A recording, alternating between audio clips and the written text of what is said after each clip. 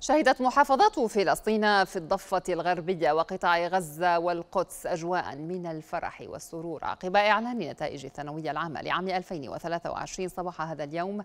لكن الفرحة تبقى منقوصة في ظل وجود طلبة في سجون الاحتلال وآخرين استشهدوا خلال العام.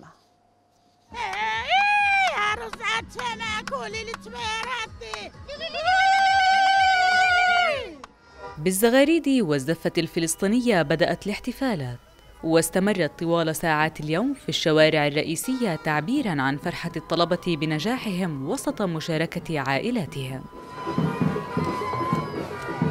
جبت 94 وواحد أدبي يعني كان الامتحانات سهلة بس الرياضيات شوي صعب والحمد لله الأجواء بتجنن اليوم. الله يبسط الجميع. كثير حلوة أحلى أجواء و... وأحلى فرحة وبتمنى الكل يعيشها وتكون أحلى فرحة للكل. شو معك؟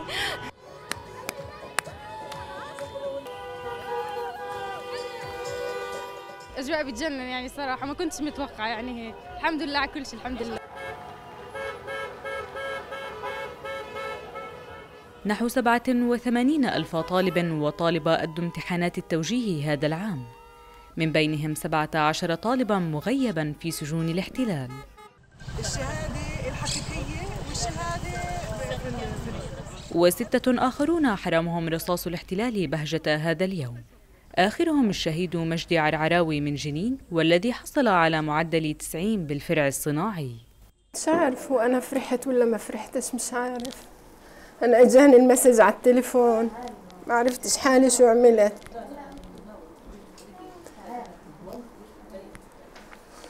الحمد لله ربنا يهني إن شاء الله بشهادته بالدنيا وشهادته بالآخرة.